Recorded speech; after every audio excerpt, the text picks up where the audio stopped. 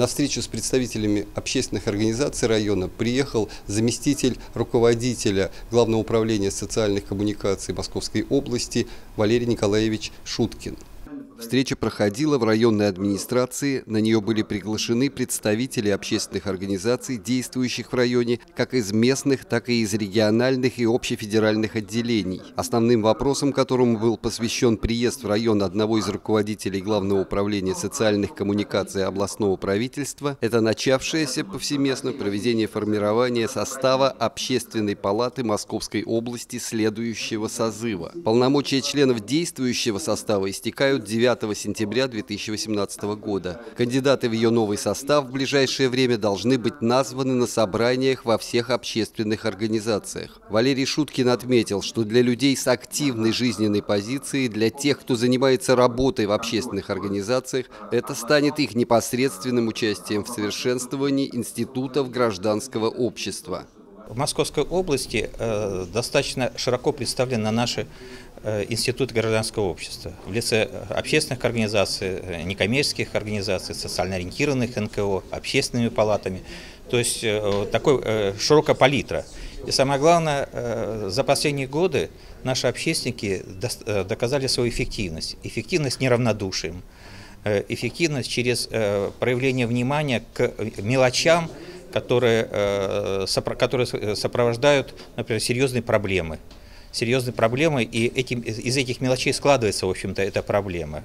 Новый состав Общественной палаты Московской области будет формироваться, как и раньше, на одну треть губернатором Московской области, на треть Московской областной думой, а остальная треть здесь, в районе, причем по новому законодательству, право выдвигать кандидатов теперь предоставлено только общественным организациям. Это должно существенно повысить результативность работы нового состава Общественной палаты, ответственность ее членов перед выдвинувшими их общественными организациями. Председатель районной общественной палаты Александр Макаров отметил, что на эту минуту никакого заранее утвержденного списка кандидатов не существует и что он ждет предложений по этим кандидатурам от всех общественных организаций. Мы вот палаты там э, тоже рекомендовали, ну сейчас сегодня рассматривали кандидатуры и рекомендовали, хотя у нас есть там, вот и Таня Понова, менеджер года по Российской Федерации стала там, и э, люди, которые занимаются благотворительным трудом в хорошем смысле слова, вот, есть у нас заслуженные э, военные, ветеранские организации, ничего.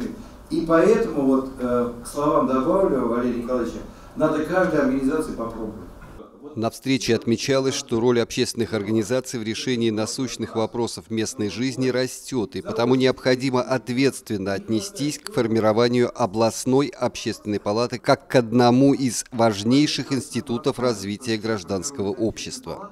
Если говорить об общественной палате и общественных организациях э, Щелковского э, района, то э, она не только по своей численности, здесь, посмотрите, у нас сама палата 45 человек и порядка 95-96 общественных организаций разной направленности, и общероссийские региональные отделения, региональные, и местные отделения и так далее. И все это большой, большая коалиция, на которой опираются органы местного самоуправления. На встрече состоялось также награждение общественников района, отличившихся в работе в 2017 году знаками Общественной палаты Щелковского муниципального района во благо Щелково. Андрей Цеханович, Сергей Максимов, телерадиокомпания «Щелково».